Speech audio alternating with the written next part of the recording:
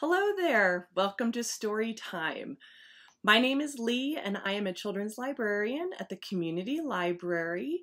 And um, I usually do story time at the library, but we're still not doing that, though we are open a little bit right now. So if you need to go to the library, you can do that, but you need to wear a mask and you need to do social distancing. So maybe we'll see you at the library. But I'm still doing story time from my house, from my office. So welcome to another story time. And this week we are going to be reading stories about smiles because smiles are just so important.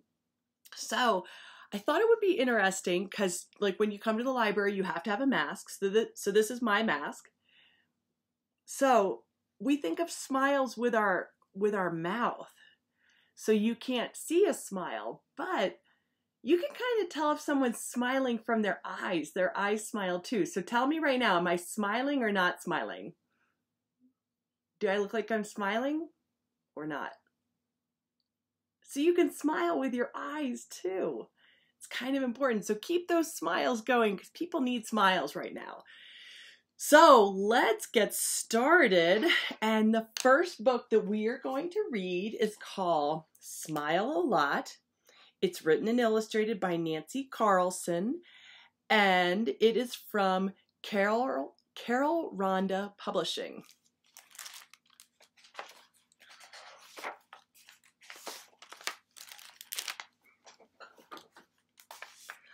Life has all sorts of ups and downs. That's why you should always smile a lot.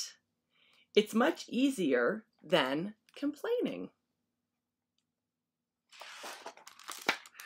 When mom makes oatmeal with prunes for breakfast, smile a lot and ask if you can help her make chocolate chip pancakes tomorrow.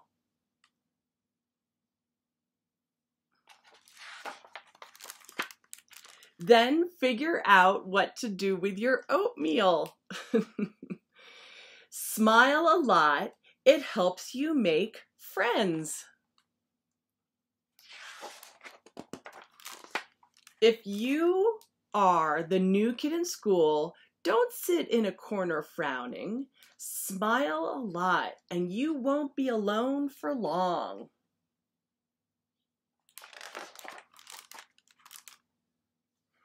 smile a lot. It confuses the tough guys. When the tough guys are hop- hogging the swings,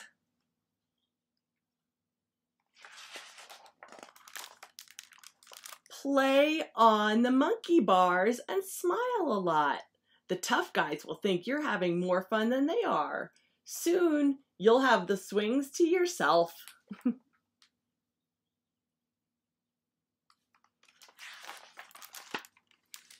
smile a lot. It gets you through hard times. When you only get three words right on your spelling test, just smile a lot and no one will know you only got three words right. And when you show your test to your mom and dad, smile a lot and tell them you'll do better next time. Then study hard, and next time you might get a perfect score. Smile a lot, it gives you lots of courage. When you have to go to the dentist for a checkup, smile a lot. You'll discover the dentist is really not so bad. You might even get a prize or two for your bravery. Smile a lot. It will help you reach your goals. When you have to run a whole mile at soccer practice, smile a lot. Smiling takes a lot less energy than moaning and groaning. Then you can run fast so that your coach just might start you at forward in the next game. When nighttime comes,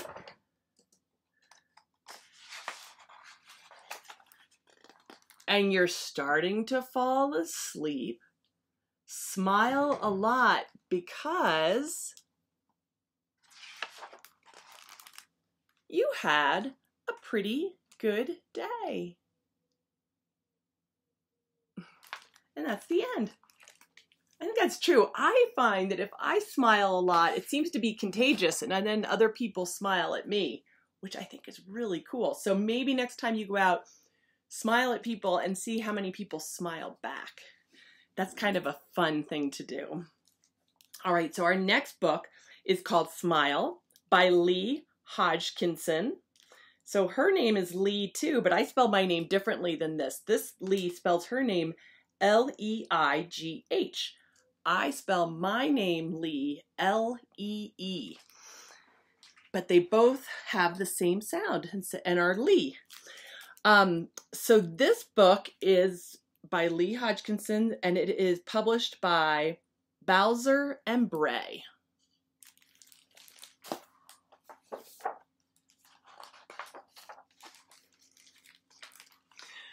Mom says I can't have any more cookies until dinner and that includes crumbs and little broken pieces. By the way, I am definitely not sulking.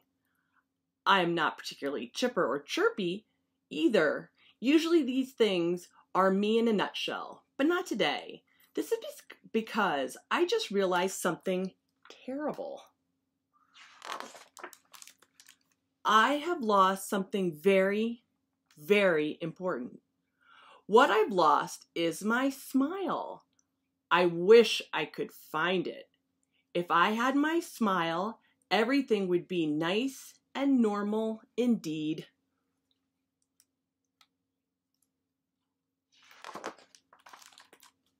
Oh, you know something? Someone just arrived that makes me smile. Look, it's my kitty. There's Cranberry. she makes me smile. She likes to sit on my lap. Oh, do you see your tail?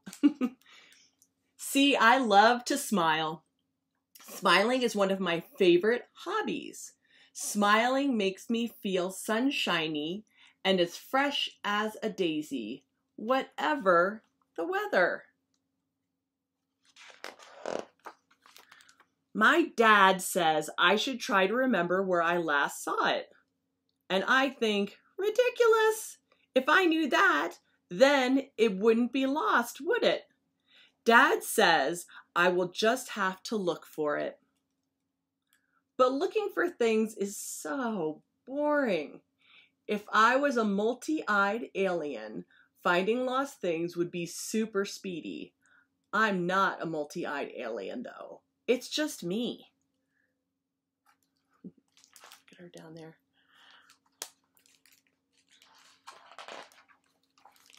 Maybe my smile has fallen under my bed.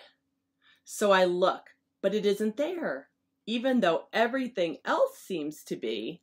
Look at all that stuff under her bed. Perhaps I dropped it on the floor. If there is a floor under all this stuff, I don't think I have ever seen it it could be an ocean made of wibbly wobbly jello for all I know. I suppose I had better clean up. This is highly unusual, but I am desperate. is your floor made of jello? I don't think mine is. no smiles to report here. Only one unhiggly piggly bedroom and no jello. But what if I didn't lose my smile? What if somebody took it? Well, I don't think it was Glittergills. Cheer up, Glittergills. Maybe a sprinkle of fishy flakes will do the trick. Glittergills is not smiling. Aha! Maybe the twins took it. They ask me what I'm up to. So I tell them, and they just giggle.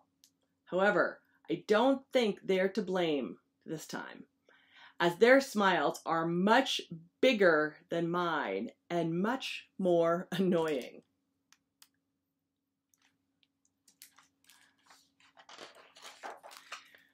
My smile is exactly the right shape and size just for me. It simply wouldn't suit anybody else. So if it isn't in my bedroom and it hasn't been stolen, it must be lost in the big wide world. But it will take ages to look there. Maybe I'll quickly check the rest of the house first. Mom says that most lost things in this house can be found in the following places 1. The sofa. 2. Pockets. 3. Mr. Honeycomb's basket. Oh, look! One of Dad's flip flops. I think this is the flop one. look at Mr. Honeycomb.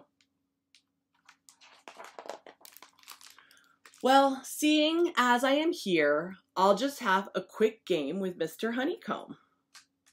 He is one smart cookie. Boy, he's a smart dog playing cards. Five games later, Mom finds me and says that my spick and span room is a complete miracle. She also says that I am a sweet pea for feeding glittergills and playing with Mr. Honeycomb.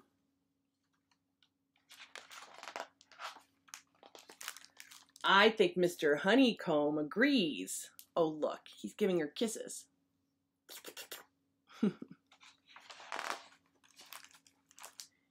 you found it, say the twins. And I say, Found what? We knew it would turn up, say the twins. And I say, Knew what would turn up? And they say, Your smile.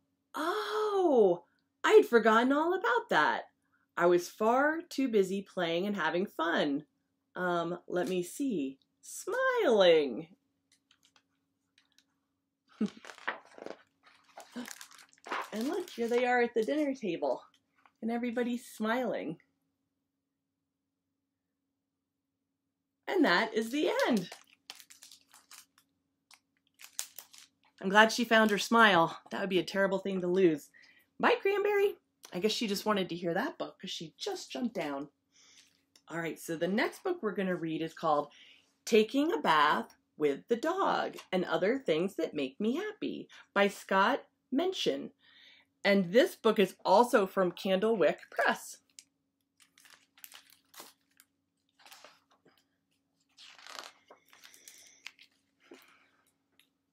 I miss your smile today, Sweet Pea. What would make you happy? I don't know.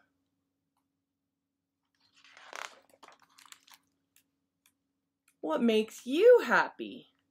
Taking a bath. What makes you happy? Counting. What makes you happy? Running around.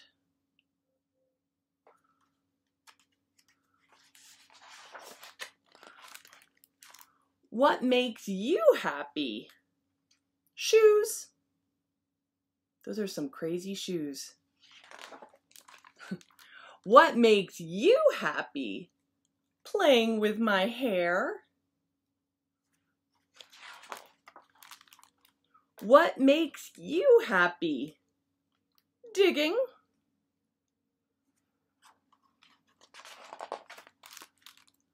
What makes you happy? Stripes.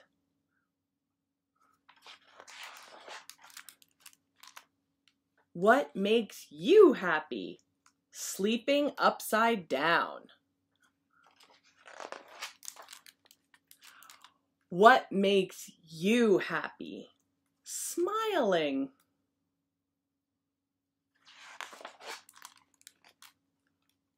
Hmm. Sweet Pea, you're smiling. Did you find out what makes you happy? Yes, I'm happy when I tickle my baby brother, jump rope, bake cookies with faces, ride my bike, chew peas one at a time, make a wish, stay up late, paint on eggs, make faces, hold my breath underwater, stick finger puppets on my toes, sing, slurp spaghetti, look at my reflection, dance with my shadow, play dress up, sit in my dad's chair, blow bubbles, drink tea with grandma, play drums, pretend I'm a monster, swim at night, lick sprinkles off ice cream, and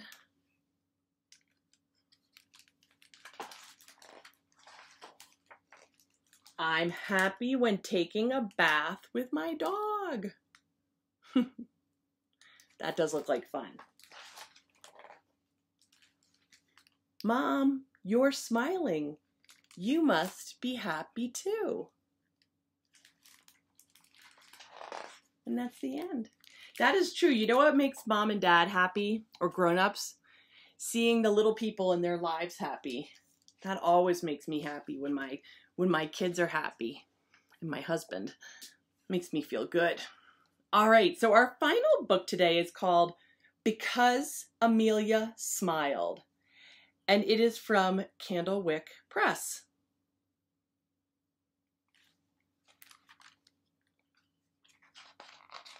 This is a neat book because it's like a giant circle, and I think you'll see what I mean when uh, when we read it.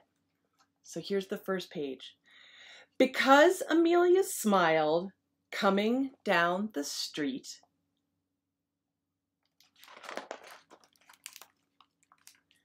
Mrs. Higgins smiled too.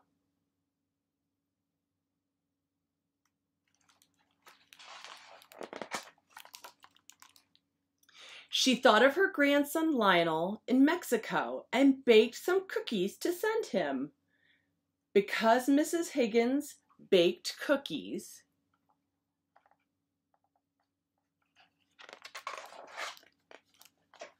Lionel ate one of the cookies.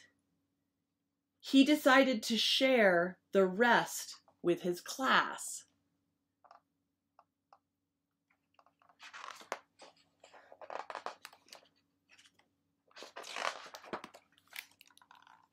And teach them an English song about cookies. Because Lionel taught his class a song,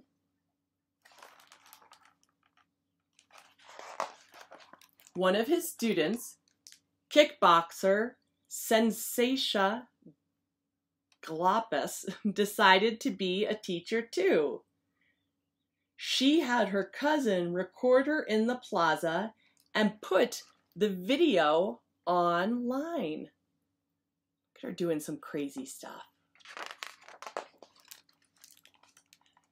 Zesta Crump and her ballet club in England saw the video and decided to add some new moves to their Goodwill recital.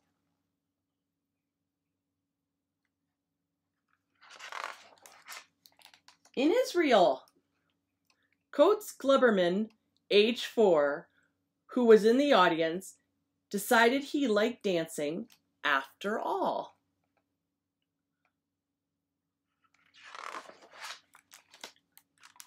At bedtime, he danced his brother Ichabod to sleep. Because Coates danced him to sleep, Ichabod slept all night through.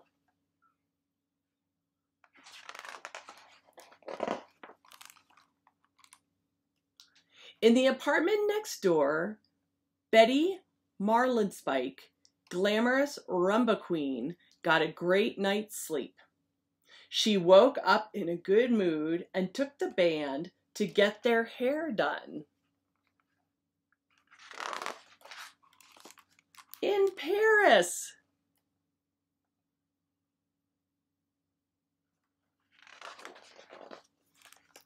The band felt so fancy, they gave a free show on the Pont Neuf.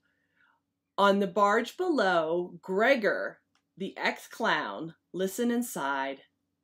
Their love song, Con Corazon Intacto, reminded him of his old flame.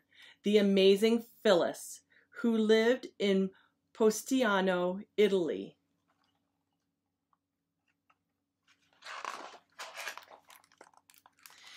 The next morning, he bought a bouquet to send to her with a note that said, Phyllis, after all these years, will you marry me?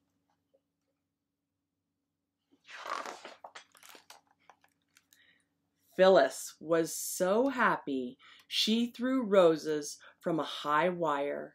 She was caught on film by a TV crew that was doing a story on cats. Look at her dog up on the high wire with her.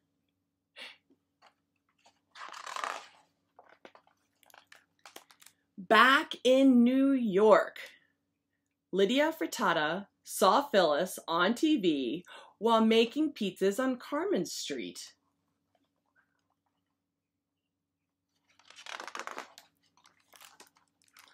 On the subway home, she began a scarf of roses for her niece, Pia Maria. She sat across from Pigeon Man Jones. He watched her and remembered his dear old grandma who loved to knit.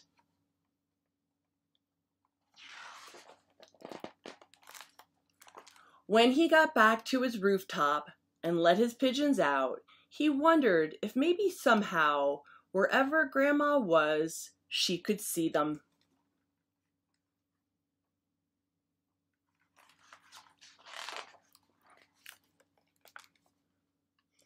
Because Pigeon Man Jones let his birds out, Amelia saw them.